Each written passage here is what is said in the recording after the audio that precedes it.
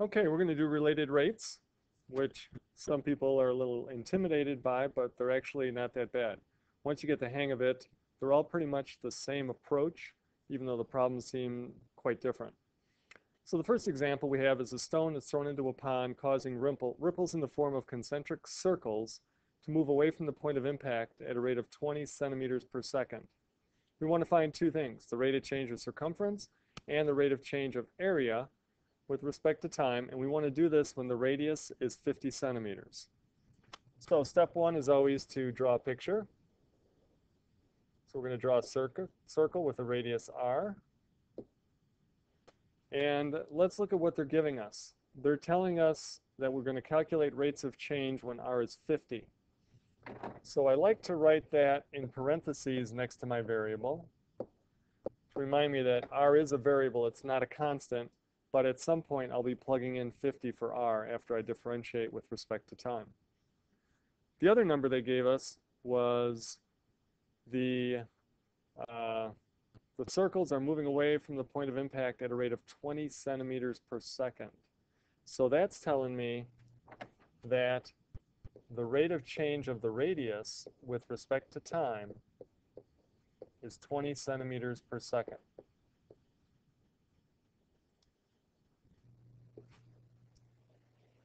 And what they want me to find, the first thing is the rate of change of circumference, and then the rate of change of area.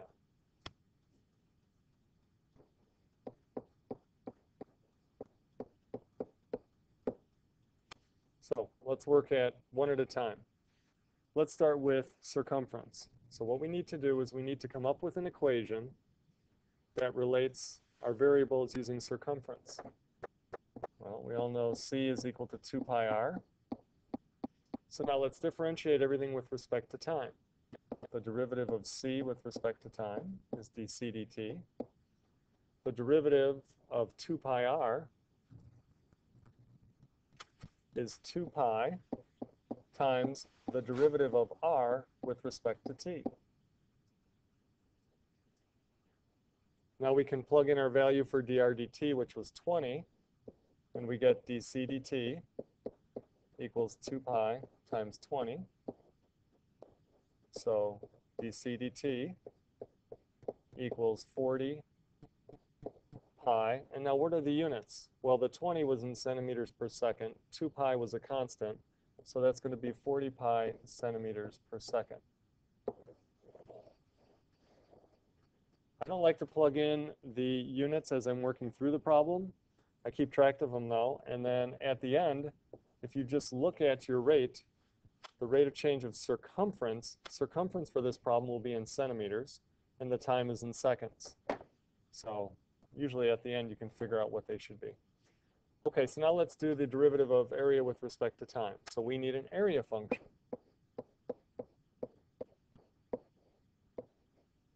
Course, area is pi r squared. Once again, differentiate with respect to time. And you'll get dA dt. Now we're taking the derivative of r squared, so that's going to be 2 pi r times the derivative of r with respect to time. So in this equation, we have to substitute in two values. We have to plug in r. Well, that was given to us. They wanted to know this when r is 50 and then drdt, which was 20. So we get dA dt equals 2 pi times 1,000, so 2,000 pi, or the decimal equivalent. And now what are the units on this? Well, if we just think about area, the area is going to be in square centimeters, and time is in seconds. If you go back and look at it, the 50 was centimeters, the 20 was centimeters per second, so we would have centimeters times centimeters per second, which gives you your square centimeters per second. Also notice both of these rates are positive. In this problem, the circles are getting bigger, so you should get positive rates of change.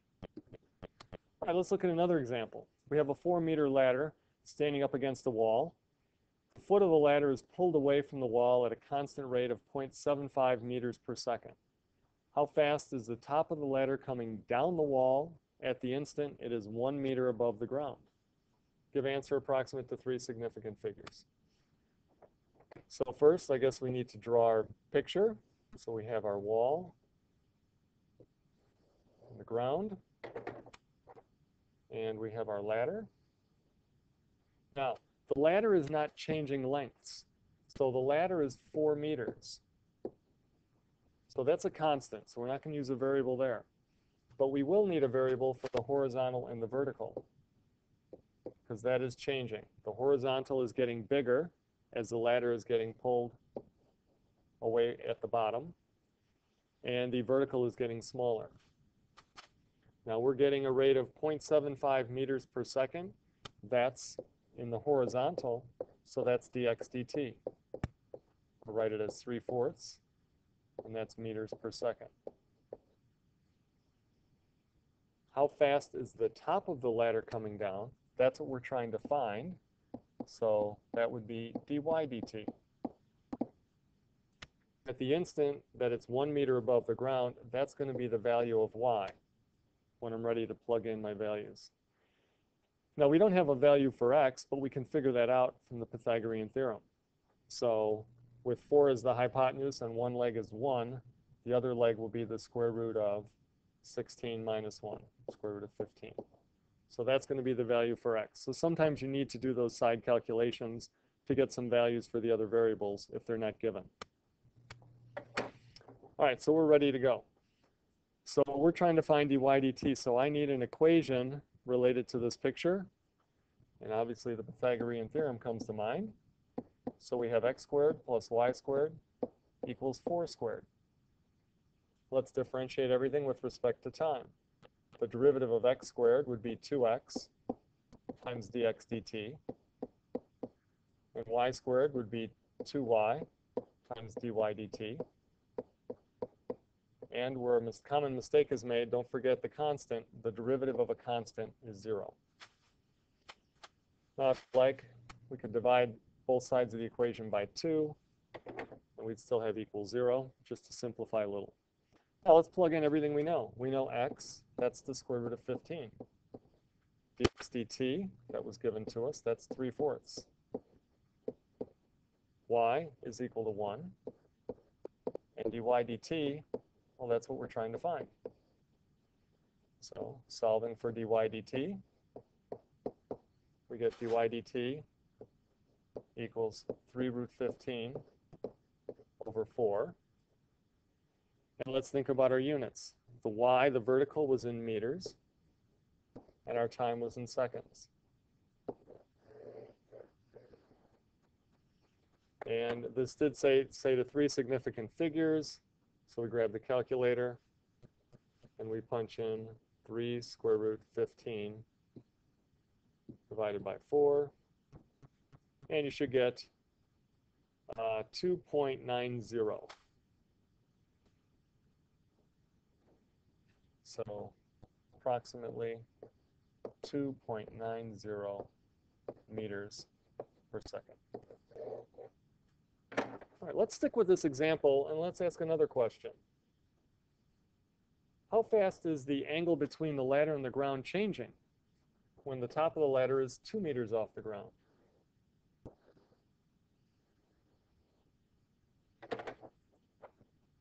So, same setup. Ladder's a constant 4 meters. We use x for our horizontal, y for the vertical. The ladder is being pulled out that way, so we have a dx dt equal to 3 fourths meters per second. They want to know when y is equal to 2, when the top of the ladder is 2 meters off the ground. Once again, let's solve for x. And the Pythagorean theorem, 4 squared minus 2 squared would be square root of 12. I'm just going to leave it as square root of 12 because I foresee what's coming down the line in our equation. And what they want us to find is how fast this angle is changing. So let's call that angle theta. And we need to write an equation for that. So it wants to know how fast theta is changing with respect to time. Okay, so let's come up with an equation for this. Uh, there's several we can use, right triangle trig, sine or cosine or tangent. I think I'd like to use the cosine. Cosine of theta would be x over 4, adjacent over hypotenuse, except I'm going to go ahead and rewrite this as arc cosine of x over 4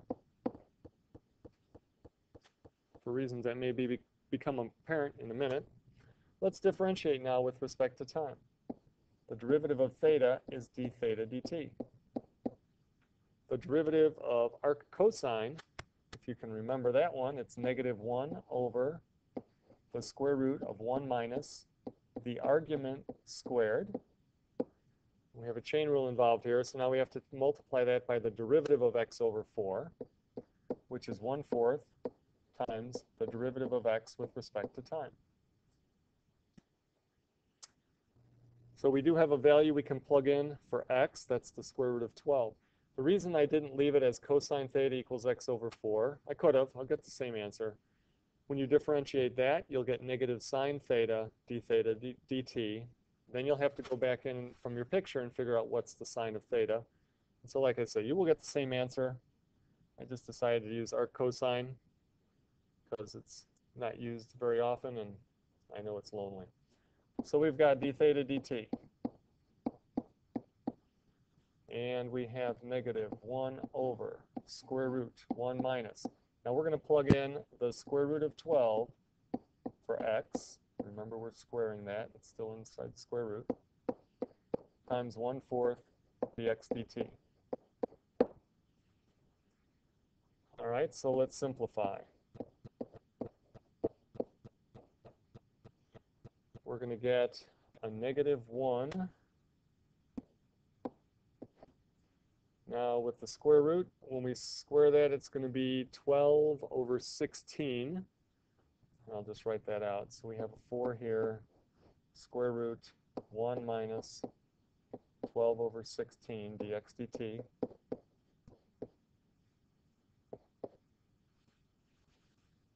Keep going. So d theta dt, uh, 16 over 16 minus 12 over 16. So that'll give you inside your radical 4 over 16, which are nice numbers to take the square root of. So that would give you 2 over 4. So we're going to have negative 1 over uh, 4 times 1 half would be 2.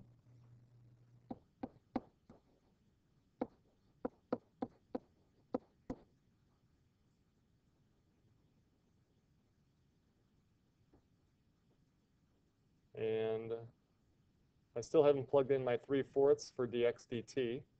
So let me plug that in. Should have plugged it in a long time ago.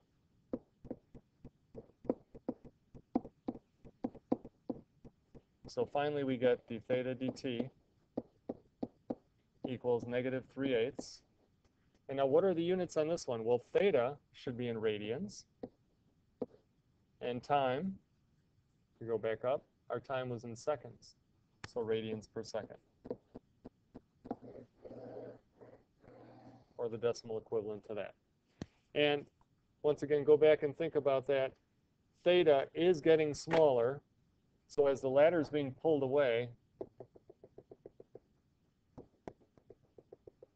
x is increasing, so its derivative is positive. y is decreasing, its derivative is negative theta is also decreasing, so its derivative should be negative as well. Okay, let's look at one last example. We have a conical tank. The radius at the top is 4 and the height is 8 meters. It's being filled with water at a rate of 2 cubic meters per minute. That's a rate referring to volume. So let's write that right off the bat rate of change of volume, and the volume is increasing, so it's a positive 2 cubic meters per minute. How fast is the water level rising when it's 5 meters high? So we're going to need a variable for that, we'll call that h, the height of the water at any given time. And the radius is changing also at any given time. And we want to know when we plug in 5 for h. And so how fast is the water level rising? We want to know the rate of change of h with respect to time. So ready to go. Let's write a volume equation. Move this out of the way a little bit.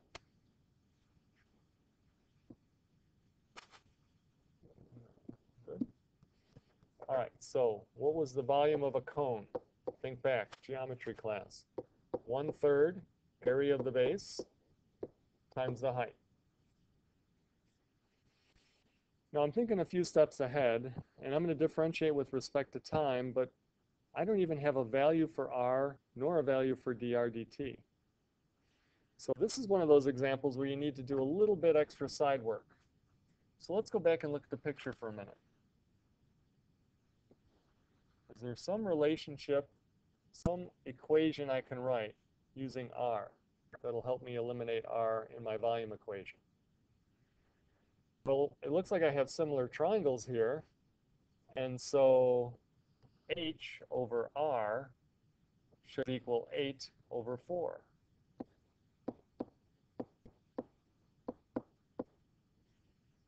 We can cross multiply. And I'm going to get r is equal to h over 2. That's perfect because now I can replace r in my volume equation with h over 2.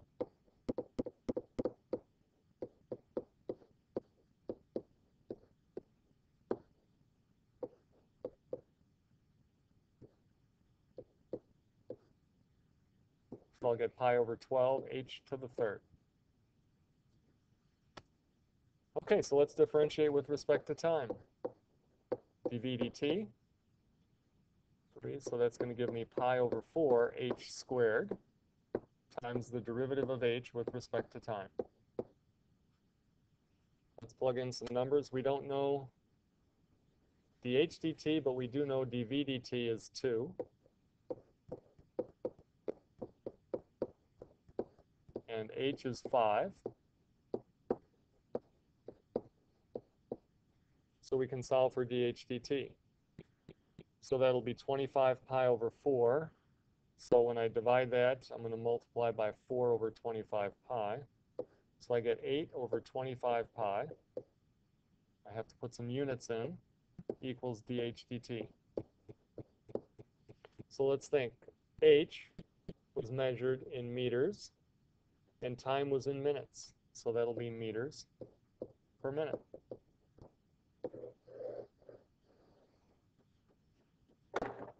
And the decimal equivalent, if we grab our calculator and check,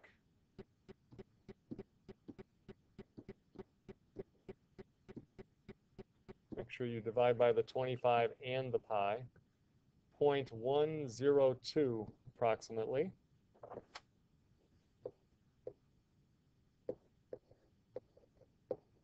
meters per minute. And it makes sense that dHdt should be positive because H is increasing as the water is being filled into the cone. So to summarize, in general, how do we approach related rates problems? First thing you do is draw a diagram. Then you label with variables and constants and identify any rates of change that are given and what rates of change are needed. Then looking at all your variables, write an equation relating those variables. Differentiate the equation with respect to time. Plug in all the known values and solve for your required rate of change. And as in the last example, occasionally you might have to do a side equation to help with some of the variables whose values are not given to you. Hopefully this helps.